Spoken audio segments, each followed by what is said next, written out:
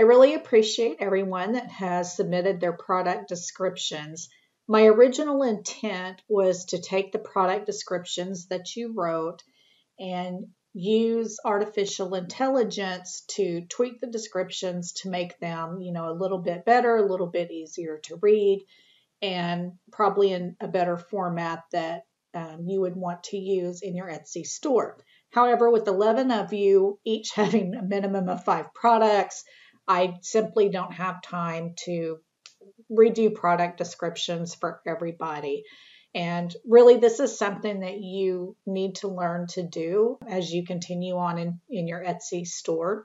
So, I want to show you how I write product descriptions for my products. And I use artificial intelligence.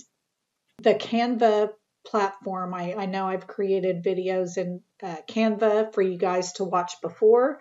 And as you probably have guessed, I use Canva for all different kinds of things. And I think that as an Etsy seller, Canva is a really good tool to invest in because you can edit your product photos in them. You can actually create products within Canva. I have a digital product that I created using Canva that I sell. So there's just so many things that you can do with it that it's just a really good investment. There is a free version available but the free version is going to limit you. So I really encourage you to invest in the pro edition of Canva. Okay, so for writing product descriptions, here's what we're going to do. In Canva, you can just create a new doc, just a plain doc. And to access the AI tool in Canva, you're going to come down and click on Magic Write. The first thing you have to do whenever you're using an AI tool, whether it's the one in Canva or if you're using Chat GPT, you have to give the AI tool a command.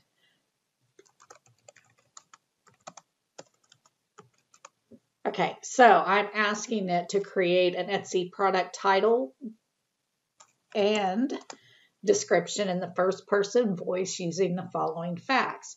And so here's where I just want to start listing attributes of whatever product it is that I that I'm trying to create a description for.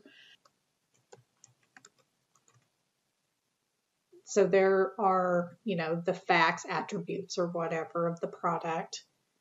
And I have my command. So I'm just going to click generate. And there you go. You have a, a a title.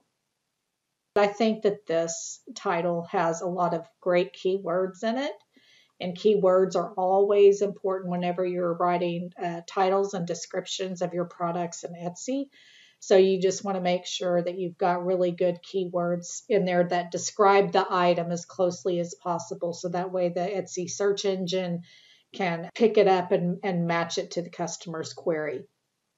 So, one thing I want to say about AI, any tool that you use, AI is great. It gives you a really good place to start from to write product descriptions. You do probably need to go in and edit the descriptions a little bit. Number one, make sure that the description is, is explaining the item correctly. And then also making sure that there are no huge bodies of text because when people have a bunch of text that's pushed together, like if, this looked like this, that becomes really hard for people to read. So just make sure that all of your text is broken up to make it easier to read and just go through there and read and, you know, just edit it however you see fit. If hello there beautiful soul is not something that that you would personally say yourself, you can take that out. But again, this just really gives you a good starting point for writing the product descriptions. And I hope you find this tip useful. My challenge to all of you is to go get on Canva. Uh, again, you will have to have the pro subscription, but if you don't, if, if you cannot get the pro subscription, if you can't afford it right now or whatever, just let me know and I'll work with you to either let you access my account or see if I can get a, an account set up that everybody can ha- have access to. But again, Canva is such a useful tool. I use it all the time for my Etsy store for so many different things that it, it's just a really good investment. So if anyone has any questions, don't hesitate to reach out to me. But now that you should have your product descriptions at least written in some format, like I'm pulling up Bobby's here. So Bobby's got all of her product descriptions. Go ahead and take these and edit them into in the Canva platform and, and see if you can create a little bit better descriptions for your products.